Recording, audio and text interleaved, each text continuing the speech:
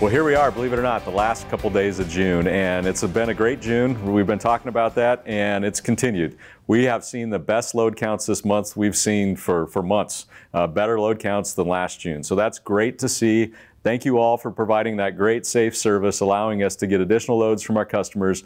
And it takes an entire team effort. We know that from you know sales teams working with the customers to bring on additional loads. Obviously, our operations team working then with those contacts to get those loads booked uh, dispatchers uh, getting planners getting those out there through dispatch through your asset manager. Obviously you picking up and delivering. Uh, maintenance team having good equipment for you and then a lot of things happen after you deliver that load from you know payroll to pay uh, to getting paid by the customer. Just a great team effort. We're seeing a great um, again great service to our customers. So thank you, thank you, thank you. Uh, the timing's great too because we're coming to the end of the quarter, and that means quarterly bonus is hitting. I was downstairs, and I know I talked to a couple drivers already hit their bonus. So congratulations to those drivers that are out there. We should have a strong weekend. We got really good weekend load counts to get you through, and hopefully those of you who are really close uh, to get you that quarterly bonus. It's been a busy week for Eric and me too. Eric is still out visiting customers. I was out visiting customers, made it to the Statesville terminal as well. Great to see the team there. That, as I said in the in the Facebook posts that we put out there, the YouTube, uh, excuse me, not YouTube, uh, some of those other social media channels. That is a hidden gem. It's just a great terminal. It's not one of our bigger ones, but very nice facilities, great parking. It's quiet. Uh, so if you're in that area, stop in, see the team there, have a great place to park and some great amenities for you you know, our customers that we're visiting are saying, hey, things are steady. Uh, they expect a good steady summer in July. Uh, and then again, hopefully as we get into that fall, we see that fall peak. I think there's some cautious optimistic about that, optimism about that. So hopefully we continue to see, you know, the, the strong things we're seeing in June here flow over to the rest of the summer. Now, with that, at the beginning of a month, uh, we, you know, we always have the end of month push and then a little bit slower the first few days. This month, as you know, uh, we're coming into July, so not only will we have that kind of beginning of the month hangover, we'll have that 4th of July holiday.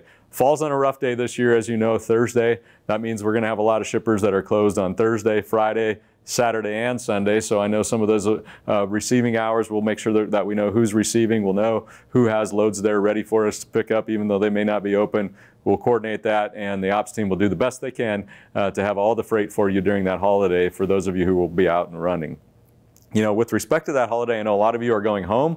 So remember, please communicate, communicate, communicate uh, with your asset manager. Make sure they know when you're going home, uh, where you'll be, uh, and then when you'll be coming out of the house we can have that load ready for you. Make sure you know where you're parking that trailer. Uh, we want to make sure we're parking it at a shipper, so hopefully it's getting loaded or at one of our facilities. Uh, so those that may be T-calling, dropping, in, and then pick, need another trailer for a pickup, we have that available. I know there's a few of you, depending on where you live, we may still ask you to uh, take that empty trailer home with you. Uh, but for the most part, make sure we're, we're parking it in places where we can get freight.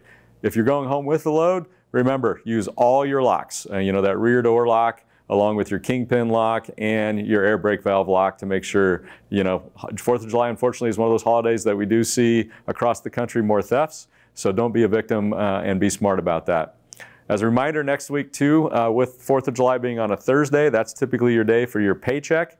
Um, so I know some of you it won't impact. We send uh, obviously the payout uh, to all the banks for your direct deposit uh, on Wednesday. Some of your banks will still post that on Thursday, even though it's a holiday. Some don't post it to Friday. So if you check that on Thursday uh, and your pay hasn't posted, it's more than likely that your bank doesn't post on Thursdays and you'll see that uh, on Friday.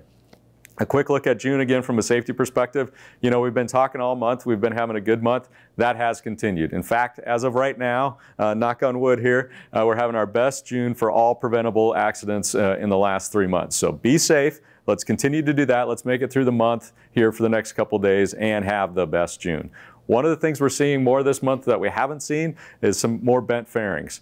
So as you're backing in, uh, making some of those tight turns, whether it's at a you know truck stop, shipper, receiver, make sure you're paying attention and you don't uh, you know crank it too hard. Struck fixed objects again continues to be our highest uh, incident of preventable accidents. So be smart here. Don't lose that bonus I talked about these last couple days. Get out and look. Unfortunately, this week we also had a driver hit a low bridge. We don't have that very often. Again, totally preventable. Make sure you're paying attention to your routing. Make sure when you see that sign that says low bridge, you believe it. Uh, we had, unfortunately, those situations where drivers, there's a sign there, They say they saw the sign and yet they still went. Be smart about it. Don't lose that bonus there either. CSL, CSA, it's been a great month too. We continue to have a great month. A couple little reminders there. Don't forget to certify your logs. And again, on the maintenance side, with the heating up, make sure you're watching your tire inflation.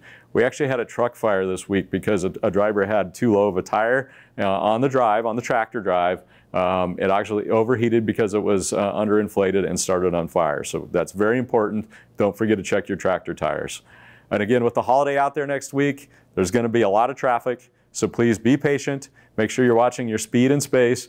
Don't get frustrated when we got all those four wheelers that are out there on vacation bobbing and weaving in front of you. Just make sure you're being patient, giving them that speed and space. Finally, for workers' comp this month, we're actually doing really well. Uh, this is one of the months where we actually see some increase typically in our shop with our shop personnel having some minor injuries. A lot of that's due to sweaty, slicky, slick hands. Uh, we're doing very well in the shop too. So thank you all to our shop team members for paying attention uh, and staying safe. Another quick topic here is OS&D. You know, overall, we have very low counts of OS&D uh, with all our drop and hook out there with all of our great customers. But when we do see some OS&D out there, we've got a great team in our risk management call center that manages it really well, tries to get you moving as fast as you can working with our customers. But just a tip on this too, if you actually follow all the load instructions when you are picking up at the uh, receiver, or excuse me, at the shipper, uh, you can avoid some of the things that happen on the other end. Because sometimes there's load instructions out there that say, hey, you have to have a particular number for the receiver, or you got to be able to make sure you can do X, Y, and Z when you get there. If you're at a shipper, you look at those load instru instructions and something doesn't look right within what's happening uh, at the dock, uh, ask. Ask the shipper. Uh, if they're not able to help you, call into RMCC uh, before you leave. Let's get all those things cleared up before you leave uh, and avoid that OS&D. So a lot of things this week. Sorry I got a little long, long-winded there, but uh, for those of you who may be going home and, I, and you don't hear our weekly video before uh, the 4th of July next week, I just want to say happy birthday, America. Thank you for everything you do to make 4th of July happen for everybody else out there. You know, it's a big celebration. Uh, there's going to be a lot of uh, get-togethers, a lot of food that's going on out there, a lot of fireworks out there. And if it wasn't for trucking, if it wasn't for each of you uh, every day, the rest of us wouldn't be able to celebrate the 4th of July uh, the way we do. So thank you very much. Uh, have a safe week and have a very happy 4th of July.